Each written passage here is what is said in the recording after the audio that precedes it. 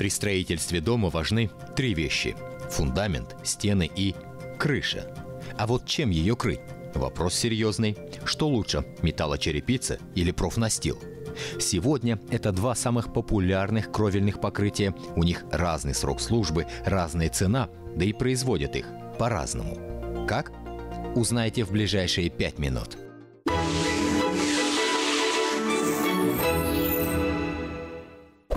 Определяющее отличие между металлочерепицей и профнастилом заключается в рисунке волны и ее расположении на поверхности листа. Металлическая черепица является отличной имитацией крыш, покрытых керамической черепицей, в то время как профнастил внешне больше напоминает шифер.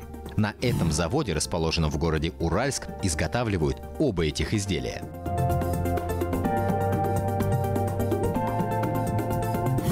Итак, профнастил или профилированный лист – это универсальный современный строительный материал. Он легкий, удобный и в то же время долговечный, стойкий к коррозии. Используют его не только в качестве кровельного покрытия, но и для облицовки зданий. Средний срок эксплуатации – около 50 лет, что достигается применением качественных станков для производства профнастила. Именно через них пропускают гладкий лист стали, после чего он становится гофрированным.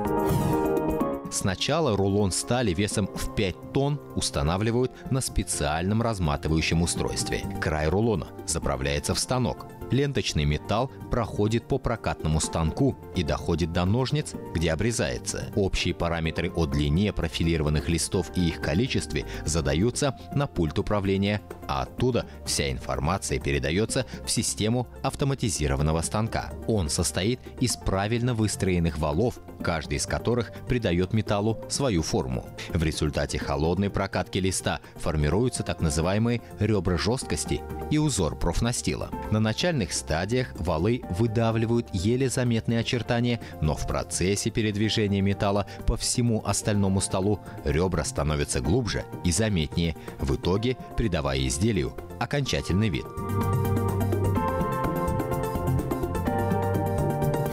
Длина каждого листа четко определена. Чтобы они все были одинаковыми, в конце станка стоит аппарат, похожий на гильотину, который обрезает лист в нужном месте. После этого лист падает на приемный стол к остальным своим собратьям. Почти такая же технология используется при производстве металлочерепицы. Ее изготавливают из окрашенной стали, это высококачественный и прочный материал, не боящийся перепадов температур и других воздействий внешней среды. Поэтому, как правило, металлочерепица служит дольше, чем профнастил.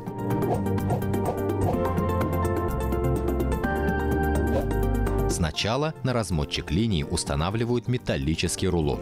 Это первый этап изготовления продукта. Затем лист подают в прокатный стан, где его прокатывают. Далее следует поперечная штамповка. На конце станка еще одним прессом формуется ступенька металлочерепицы. В ходе всего производственного процесса требуется строгое соблюдение технологии. Процесс гибки и штамповки должен производиться с точным соблюдением геометрии профиля. После того, как листы приняли необходимую форму, оператор в автоматизированной системе задает необходимый размер и количество изделий. Листы обрезаются и отправляются в цех для упаковки.